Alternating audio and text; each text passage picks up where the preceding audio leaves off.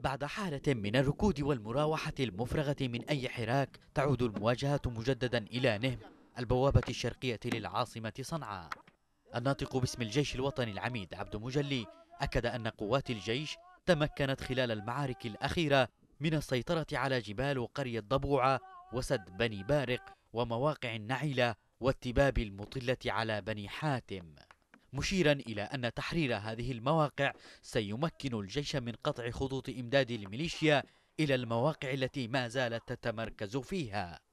مراقبون يرون أن المواجهات تأتي ضمن الأعمال القتالية الروتينية مستبعدين أي عملية عسكرية كبيرة من شأنها التغيير من معادلة السيطرة على الأرض خلال الفترة الحالية. وشهدت الجبهة المتاخمة لمراكز سيطرة الميليشيا الرئيسة حالة من الجمود خلال الفترة الماضية وهو ما جعل الكثيرين يعزون الأمر إلى عدم وجود نية حقيقية للتحرير خصوصا وأن الجبهة لديها المقومات المادية والعسكرية لتحقيق الناصر. لكن الأمر على ما يبدو مرهون بقرار سياسي لم يتخذ بعد. وعليه تبدو المعارك في نهم ذات أبعاد سياسية أكثر منها عسكرية.